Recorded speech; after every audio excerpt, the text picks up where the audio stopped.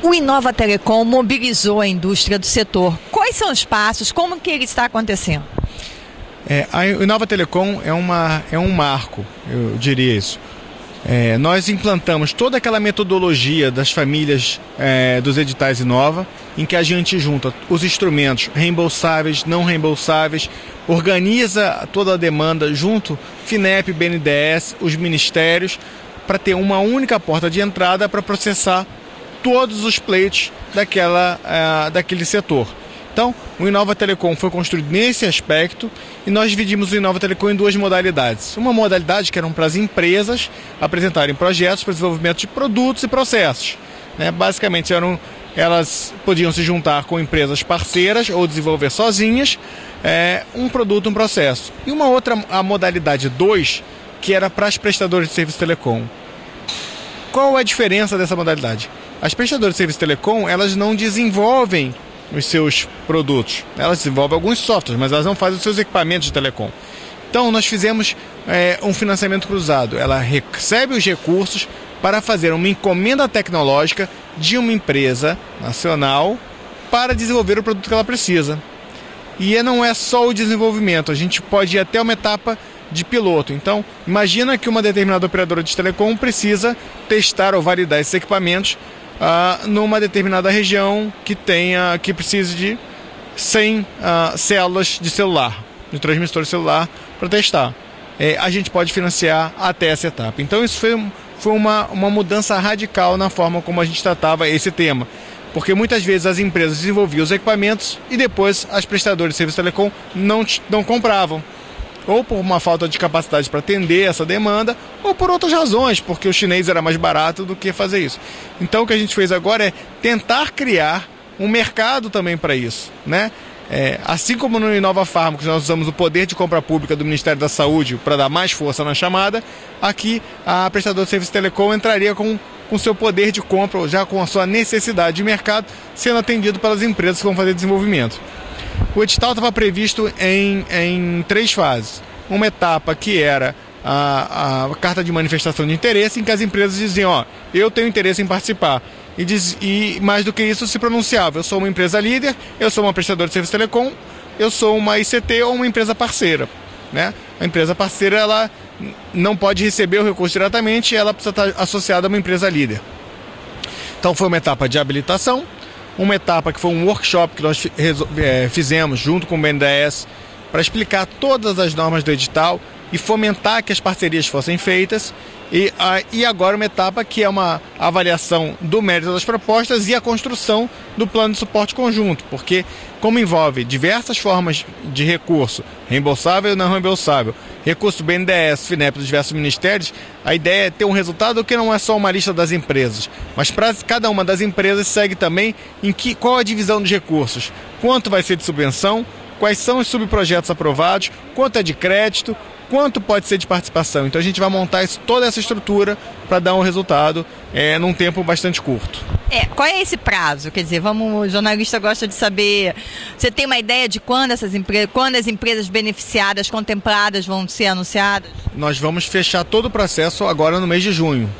E a partir daí, é, fechado o processo com a identificação de cada uma das formas de financiamento, crédito, subvenção, é, participação, é, começa a entrar os projetos internamente. A FINEP tem trabalhado no FINEP 30 Dias, que foi uma revolução na forma é, do governo se relacionar com as empresas. É, nós temos que dar a resposta em 30 dias.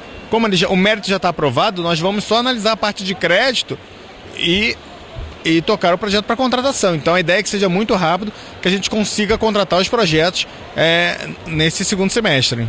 Houve uma manifestação das empresas, houve uma, as empresas estão interessadas em ter acesso à Inova Telecom?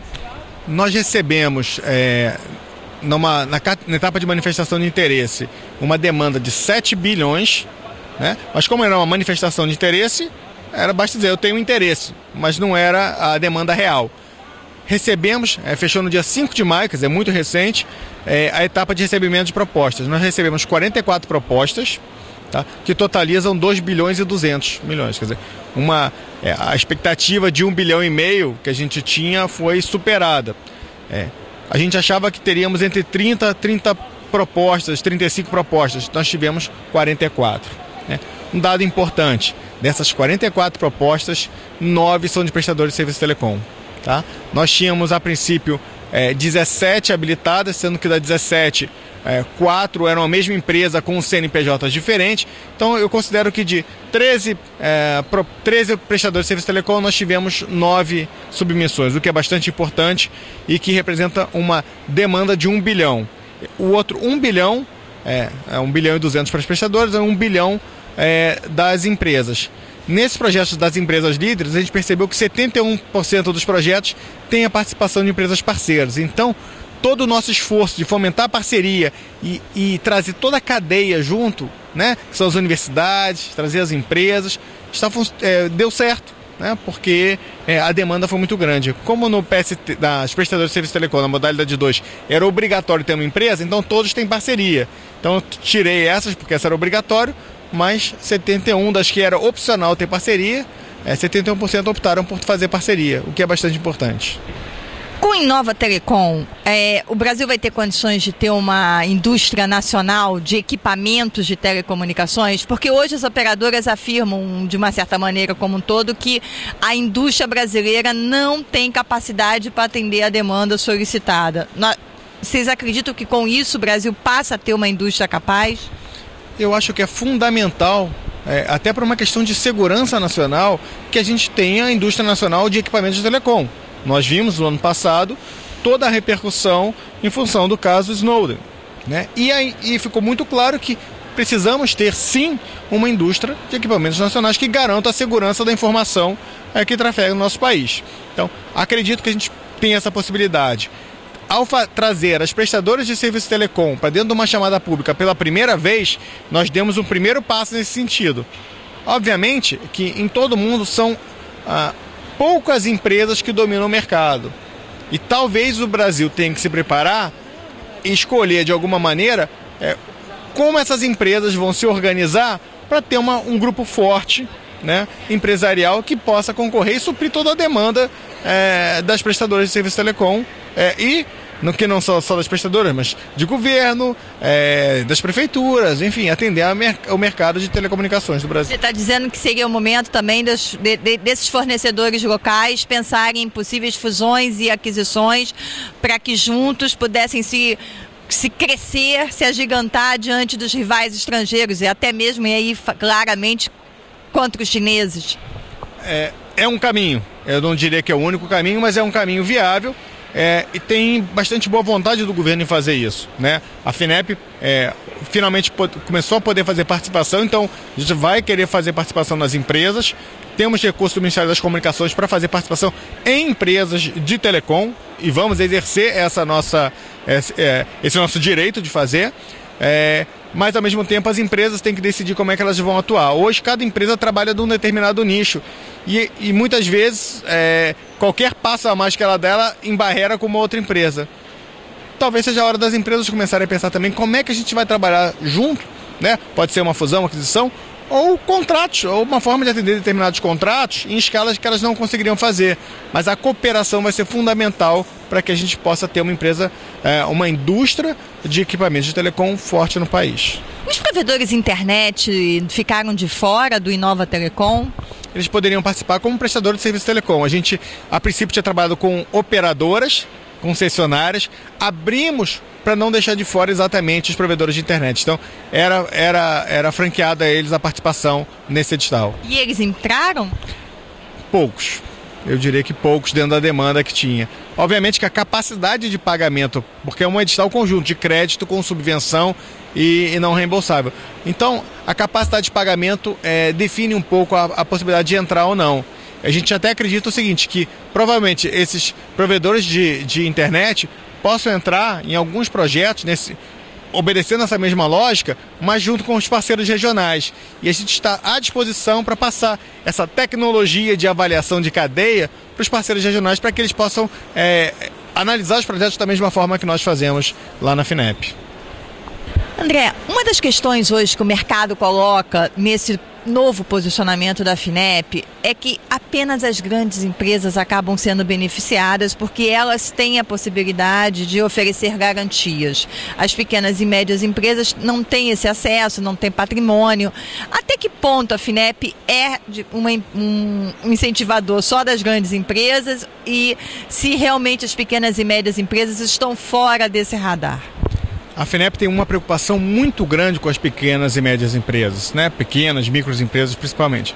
É, hoje, da forma como foi construída a política operacional, a FINEP passou a atender diretamente as médias e grandes empresas e, através de parceiros regionais, as pequenas e micro. Por que isso?